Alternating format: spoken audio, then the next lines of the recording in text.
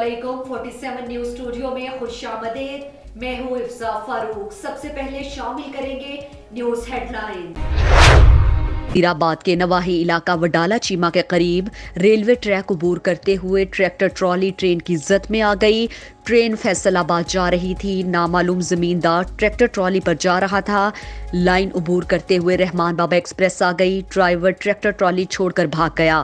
Tractor مکمل تباہ جبکہ ٹرین کا انجن اور متعدد بوگیوں کو جزوی نقصان پہنچا ہے۔ پولیس تھانہ ریلوے وزیر آباد مصروف تفتیش ہے۔ شہریوں کا کہنا ہے کہ تیز رفتار ٹرین اگر ٹریک سے اتر جاتی تو بہت نقصان ہو سکتا تھا۔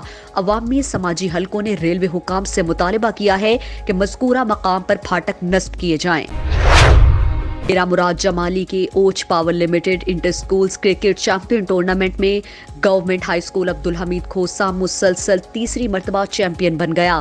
دو ہزار سترہ اور اٹھارہ کی روایت کو برقرار رکھتے ہوئے فائنل میں پہنچ کر شہید سہیل اسلم کو شکست دے دی۔ Government high school Abdul Hamid Khosa کی ٹیم کو گاؤں پہنچنے پر سماجی کارکن گل گھور سولنگی نے شاندار استقبال کیا۔ پھولوں کے ہار پہنائے، چیمپئن بننے کی خوشی میں پوری ٹیم ڈول کی تھاپ پر رقص بھی کیا۔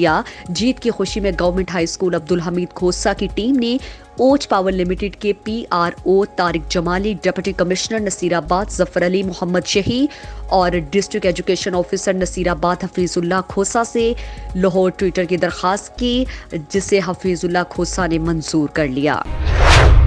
جمعیت علماء اسلام ضلع صحبت پور کے امیر حاجی سمندر خان کھوسا کی سربراہی میں ضلع صحبت پور کے عاملہ اور بشمول تمام تحصیلوں کے امیر اور جنرل سیکرٹری سینئر رہنماؤں کا اجلاس مدرسہ دار التوحید صحبت پور میں منعقد ہوا۔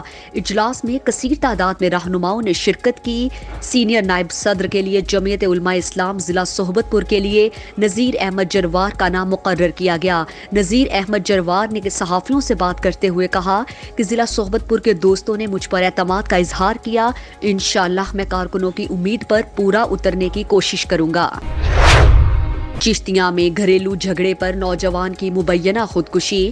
عمران نامی نوجوان نے خود کو فائر مار کر خودکشی کر لی۔ مقامی پولیس نے موقع پر پہنچ کر کارروائی شروع کر دی۔ محمد عمران کی قوم آرائی ہے اپنے رشتہ داروں کے ساتھ لین دین کے تنازع تھا، جس سے دل برداشتہ ہو کر اس نے خودکشی کی ہے۔ تھانہ بخش خان پولیس موقع پر پہنچ چکی۔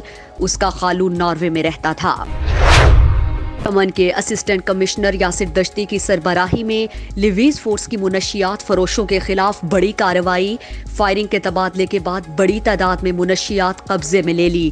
اسسٹنٹ کمشنر نے پریس کانفرنس میں میڈیا کو بریفنگ میں بتایا کہ منشیات فروشوں کی جانب سے لیویز فورس پر دس سے پندرہ فائر کیے گئے، جس کے بعد لیویز فورس کی جانب سے بھی جوابی کارروائی میں فائرنگ کی گئی۔ تاہم، منشیات فروش منشیات چھوڑ کر فرار ہو گئے۔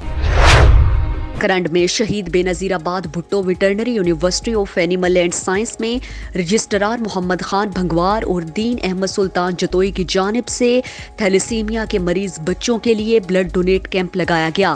کیمپ کا دورہ ڈپٹی کمشنر شہید بے نظیر آباد ابرار احمد جعفر سکرنٹ پریس کلب کے سینئر صحافی و کالم نگار قاضی جوید سنائی، سینئر صحافی رضا محمد سیال اور میڈیا سینٹر کے صدر قربان عمرانی نے کیا۔ اس موقع پر ضلع شہید بے نظیر آباد کے ڈپٹی کمشنر ابرار احمد جعفر نے کہا، بلڈ کا عطیہ دینا صدقہ ہے، جس میں thalassemia care centre Nawabshah کا اہم کردار ہے۔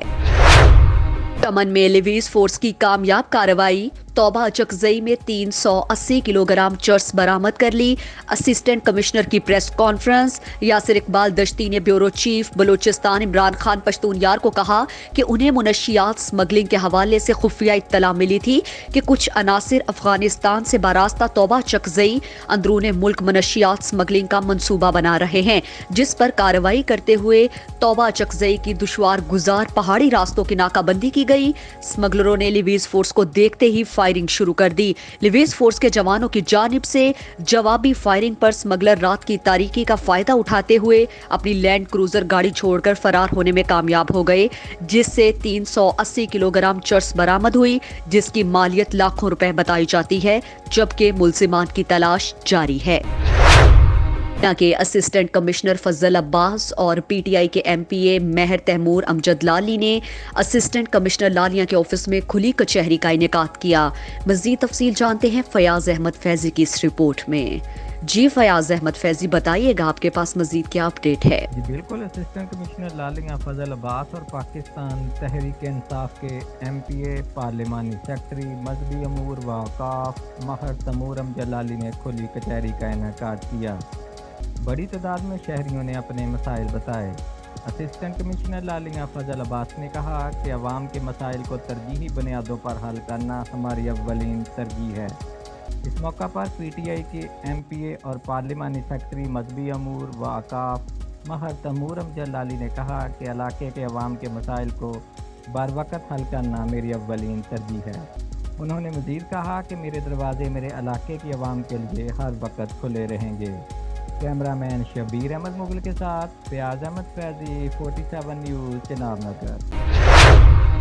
Headlines آپ نے جانی، مزید خبروں اور اپڈیٹس کے لیے دیکھتے رہیے فورٹی سیون نیوز۔